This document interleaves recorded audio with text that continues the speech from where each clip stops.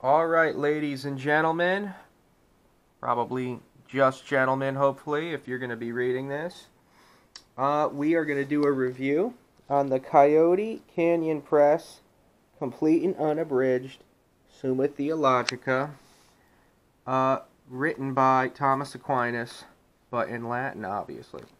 This is an English translation, and it's very good.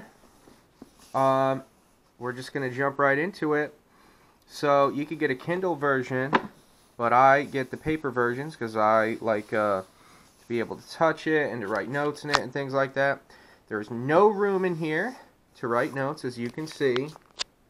It's very tight knit. I mean, it's also a very big book. Um, so, you know, when it says that it's 1,100 pages or more, I mean, these are big pages. These are not little pages. The paper is very nice. It's very soft. I would say that it's pretty durable.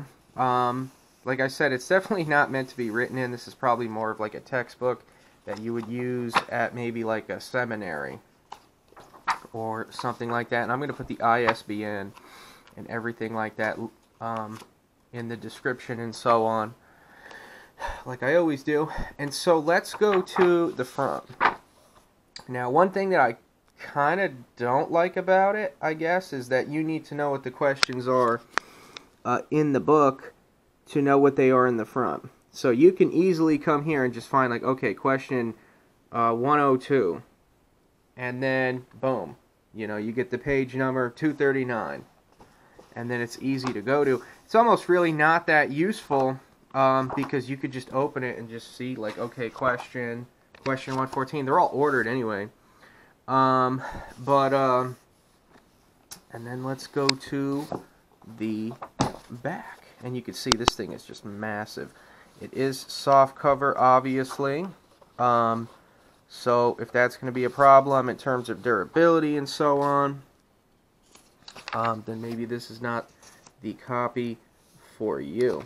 But this is the unabridged version, and it doesn't look like there's anything interesting really at the back. It does say and the final thing, the end. So that is kind of cool. But, um, you know, there's not really much to say about it. I just wanted to show you guys this. This is about $50 on Amazon. And I'm sure it's more expensive in other places.